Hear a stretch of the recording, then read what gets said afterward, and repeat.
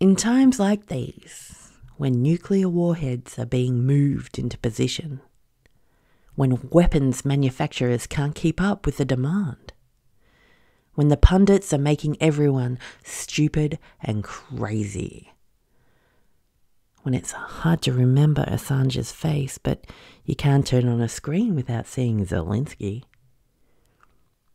When our culture is manufactured on conveyor belts in New York, Hollywood, Arlington, and Langley. When everything's fake but the bombs and blockades. When it feels like we're rocketing towards Armageddon next to Jeff Bezos in a spacesuit. When it feels like the angels have become smack addicts but have to settle for shitty fentanyl fixes. When it feels like God got kicked out of the group home and has to sell his plasma and sperm for cash. When it feels like heaven must be powered by smoggy 19th century London coal. When it feels like the angel and the demon on humanity's shoulders are double fucking our ear canals. When the bastards have sleeves full of bottomless aces while we're still trying to learn the rules. When annihilation feels like a certainty and transcendence like a fairy tale. It helps to have somewhere solid to take your stand. In times like these, when everyone's so alienated, they have to consume chemical intoxicants together just to share affection with each other. When everyone's so lonely, they trap animals in their homes with them so at least they have something that can't leave. When everyone's so afraid of their own vulnerabilities, they preemptively attack anyone who lowers their guard. When everyone's pouring their lives into generating profits for miserable employers who will never have enough when everyone's being driven mad by the pointlessness of a civilization built around wealth extraction, when everyone's allowing themselves to be sedated into a coma so they can't experience their own despondency.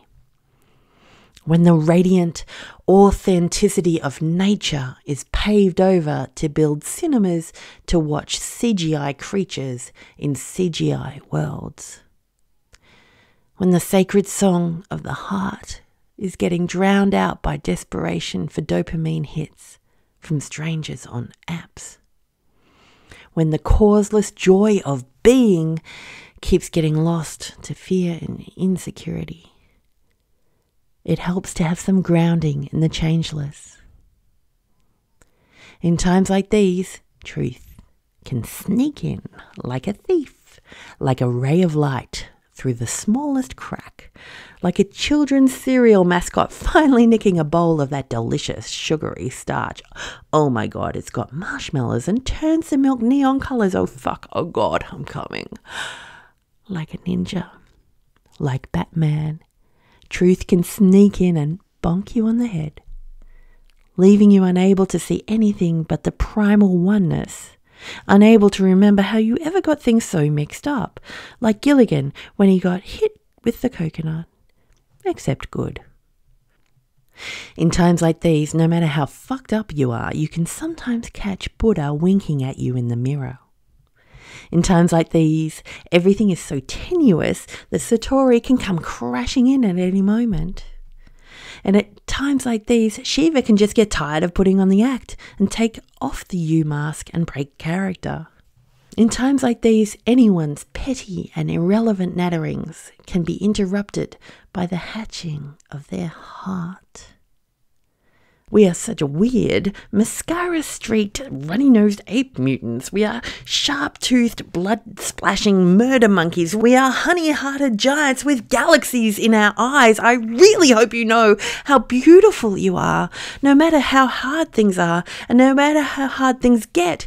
You contain vast universes, and I wish I could make full length Broadway musicals out of all of them.